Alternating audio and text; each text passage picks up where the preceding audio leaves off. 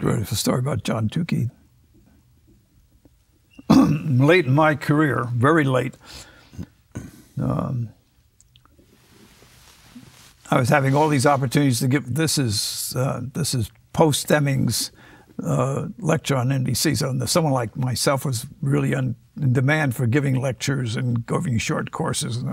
And I was, of course, I'm a full professor at Princeton. I had responsibilities to teaching and students. When, you know.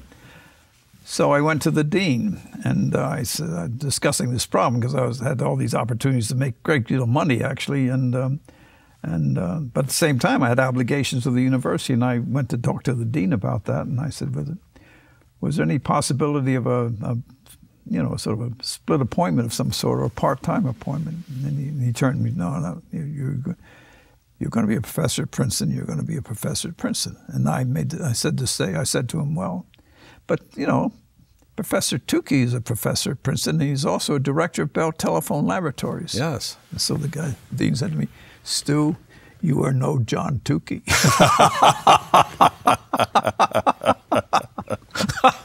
and, uh, you can only confess that, you know, of course, you're right. Big John, yeah. Uh-huh, yeah. that was before the famous line about I know John Kennedy. I've worked with John Kennedy. Oh, Believe me, you're no John Kennedy. So Oh, you had that line first.